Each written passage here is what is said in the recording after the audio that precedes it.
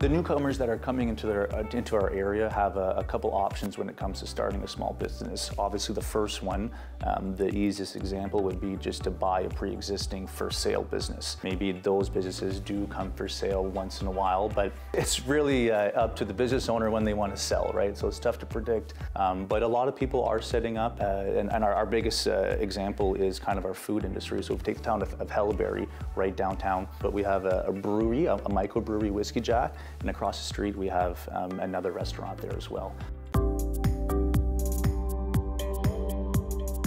I was uh, actually introduced by a friend uh, to Temiskaming Shore area and uh, during my visit I liked the area. I, uh, he introduced me to different people of this community and it was a good experience. If you look at uh, this way, you know, compared to the big cities, we have uh, less expense and uh, uh, the price is low.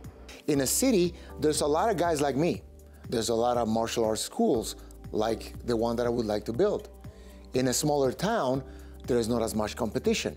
I could be more unique, so I can build a niche market and then I can become the martial arts school that everybody knows, as opposed to one of the martial arts schools in the city. From Toronto, we didn't really know about Haileybury. We had never heard about Haileybury till we saw the posting of this motel. When we came here, we didn't know anything about running a motel. So the old owners who were running the motel, they just trained us. They had an overlap. So we worked at the motel with them for about a month to get a hang of what is done, what has to be done, the routines, and we just took it from there. When we took over the motel, we did a lot of advertising, and that brought in a lot of guests into the community, into our motel. And when guests come into the motel, the community is indirectly benefited because these guests will stay here, but they will do things in the community. They go out for lunches, dinners, they go out for bowling, they go out for golfing, they do hikes, they go fishing and stuff. We've uh, organized like fishing charters for them. There's a person who does fishing charters and the beautiful fish you catch. It, it's just a four hour drive, four hour fishing charter. And there's, we're talking to the golf courses. So the community as a whole is benefited by these tourists coming in. And, and here the tourism is not just a summer tourism, it's also winter tourism. So I think as a community, we, we grow, we help the community grow. Yeah, Chamber of Commerce uh, is really helpful resource for the new business owners and then uh, even for the research to find what type of services the community or the town required.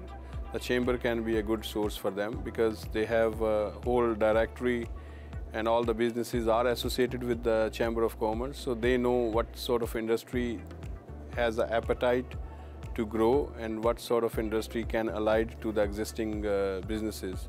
This is a franchise, so I follow their, their guidance. Um, so they help in the process as well, so which they did. So that made it easier. Um, and then after that, then I uh, explored everything here by myself. So um, going to the Chamber of Commerce, you know, getting some help from them, um, getting help from the city. Um, so the process was made easier because you were given the right direction to go to. Um, so I never faced any problems. So I mean, uh, it's pretty straightforward. Um, smaller stuff is always there, but no big hurdles. You know, getting permits and stuff like that. The city's there. You know, they're pretty lenient. They'll help you out wherever you need it.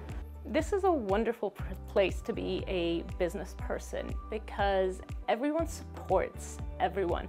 We all want each other to do well. While yes, there is some healthy competition, there is a culture of support. I want my competitor to succeed because we will both do well. I think in Temiskaming Shores, it's I don't want to say it's easy to establish a business because establishing a business is, of course, a complicated and complex process. But I think here in Temiskaming Shores, you will be part of a community that is so excited and eager to have your business, you will realize you'll think that the process is easy because you have the community support.